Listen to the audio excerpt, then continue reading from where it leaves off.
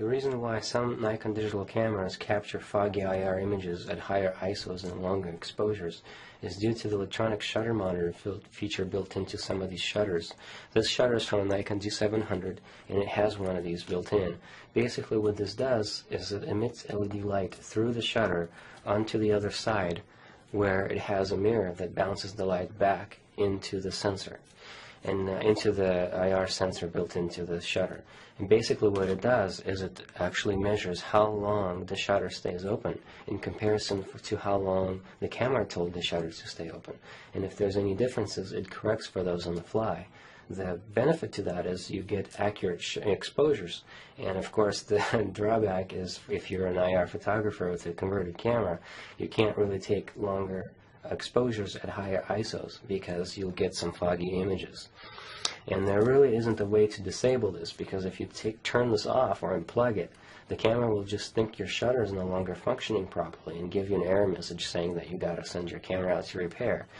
Uh, and you can't really seal this off in any way because, well, it sits right on top of the sensor. And, uh, you know, so there's not much you can do.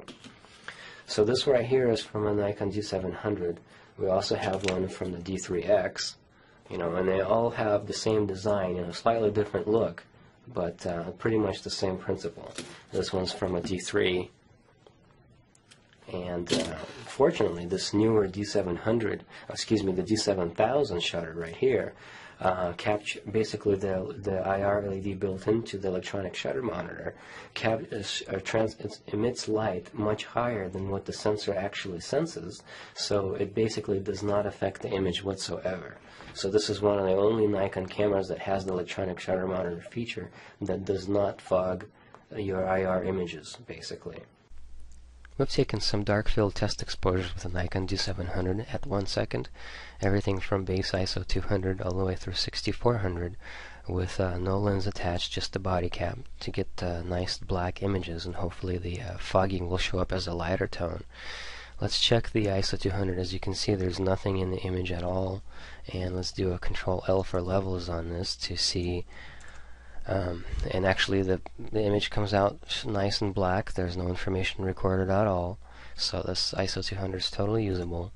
ISO 400 still nothing visible to the eye. Let's do a control L. And you can see there's just a tiny little bit of information starting to show up. But again, nothing visible at all and totally usable. ISO 800 same thing. There's more information showing up now, but still completely invisible to the eye.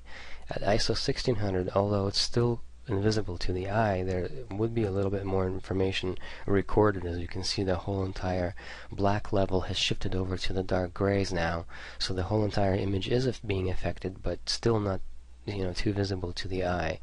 Let's do a quick enhancement with auto contrast to, to uh, stretch those levels to entire range to show uh, basically enhanced version of this fogging. You can see how it affects the image all the way from the right with being the the most affected to the left with some a little bit of spots still visible.